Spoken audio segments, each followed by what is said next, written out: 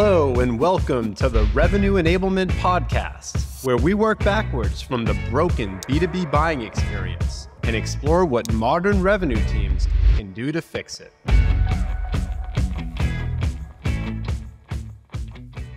Hello, everyone. I'm Mark Magnacca. On behalf of the Revenue Enablement Podcast, I want to welcome you to this brief conversation with my friend Roderick Jefferson. Roderick, let's jump right in. And can you tell our listeners a little bit about your background and how you became an expert in the sales enablement arena? I started as a sales guy, as a BDR. Did really well. As it happens, you get promoted to AE, then got promoted to surprise sales leader. I actually turned it down because I realized I loved the process of selling more than I did taking down big deals. So I talked to my VP and said, What if I could give you two problems that I guarantee you'll love? One, I can help more people to hit quota. And secondly, I can help you have to go back and get more budget for people going to club because you'll have so many. And he said, If you can do that, you've got a new job. So I talked myself into a, a sales training position at the time. And about uh, 18 years ago, I created this little nomenclature called sales enablement.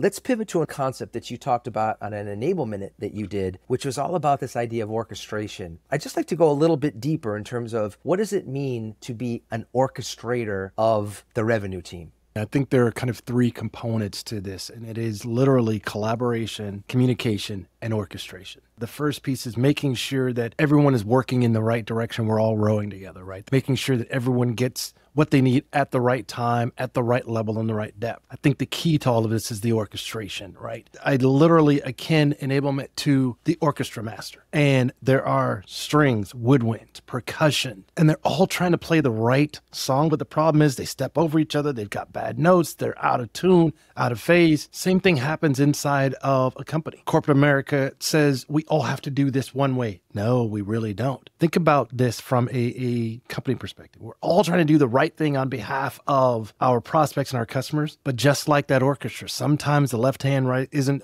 aware of what the right hand is doing. We're stepping over each other. We're dual messaging and we're confusing the market until, just like an orchestra, one person who I believe is sales enablement steps up, taps that stand, and all of that noise and chaos becomes a beautiful sheet of music. But here's the biggest piece that comes out of it enablement has to be allowed, and I will say that in, in finger quotes, right? And, and emboldened to be that orchestra master we have to trust enablement enough to say, we brought you in and this is what you do best. Let's allow you to do those pieces. I'm just trying to think about for so many of the people who are listening to this who are in enablement themselves, some are wondering, what is the scope of enablement using the metaphor you've just described? How much should I be doing? And then if I'm a C level executive and I'm thinking about what do I want my sales enablement team to do, it's been a pretty narrow remit for a long time. if I'm hearing you, you're saying that it's a lost opportunity to not expand what this group can actually do. Oh, absolutely.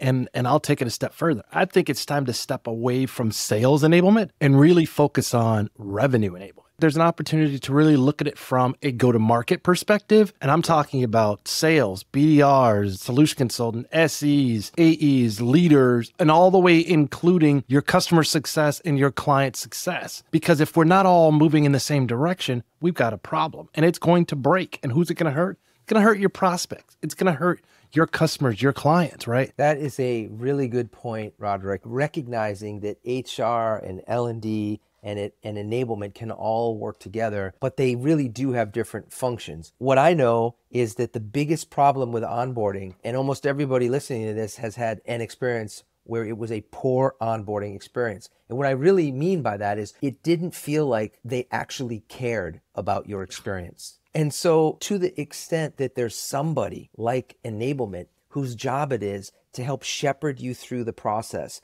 and help be the one to introduce you to the IT department and then find out, oh, you haven't gotten your computer for a week. Let's work together to get this thing resolved. Too often it's a transaction. I liken it to a train moving down a track that has literally, according to Gallup, 52 stops for the average new hire in the first 90 days. Wow. And each stop is a disjointed experience. I talked with HR today. I talked with benefits to yes, you know, the next day and so on and so on down the path. Instead of recognizing, hey, we've got a way that we do this, we're going to get you up and running, and little by little, we're going to be getting you inculcated into the culture, but we're not going to just leave you to your own devices. having been enablement for quite a while now, I've realized that it's probably the most broken part of every company I've been in for the reason you just said. And it all begins with kind of two things. One, HR and enablement have been siloed, for lack of Yeah. a better word, right? You go through orientation, stop. Now we're going to hand you off to enablement.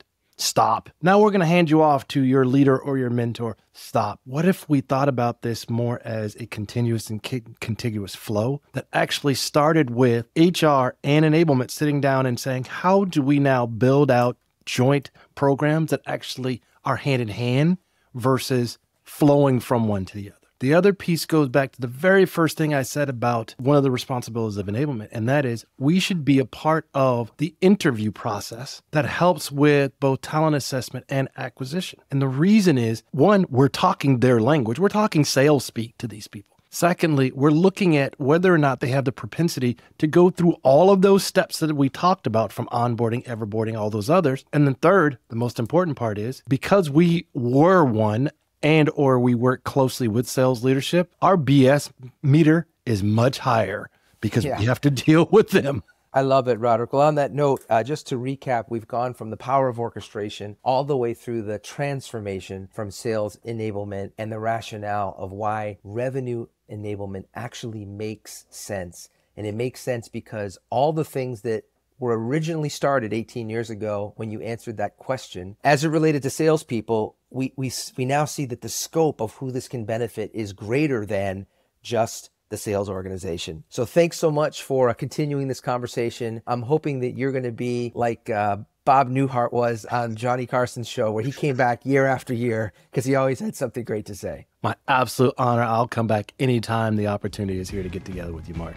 Thanks again. Terrific, Roderick. Thanks so much. Thanks for tuning in to the Revenue Enablement Podcast. If you enjoyed this episode and want to hear more, subscribe wherever you listen to podcasts. For enablement insights in 60 seconds or less, follow Enable Minutes wherever you scroll.